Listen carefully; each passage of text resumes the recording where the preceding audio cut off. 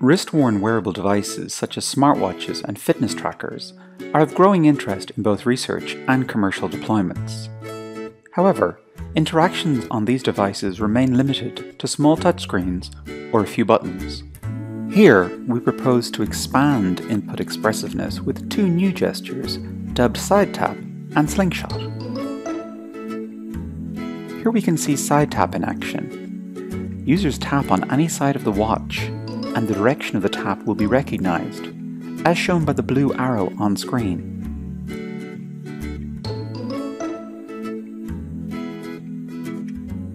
Here we can see Slingshot in action. Users press on any edge of the watch with some pressure and then quickly release it, as if using a slingshot. The direction of the slingshot is recognized, as shown in the green arrow on screen. Both the side tap and slingshot techniques also work on round smartwatches.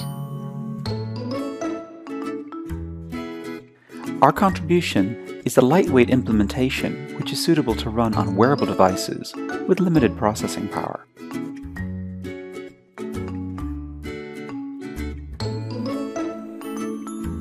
These techniques can be useful, especially in eyes-free interaction or subtle interactions where visual attention is not available.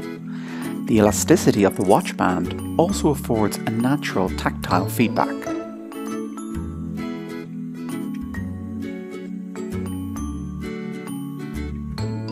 Here we can see the navigation of a long list of items, where a tap can skip to the end of the list instantly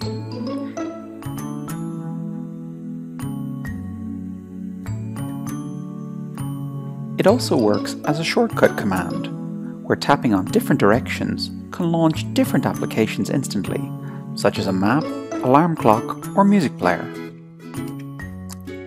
The slingshot gesture might be particularly suitable for gaming interaction, such as the famous Angry Birds game. Pressing and releasing the watch face can launch and shoot the angry bird towards the enemy. Thank you for watching this video on Side Tap and slingshot gestures with unmodified smartwatches.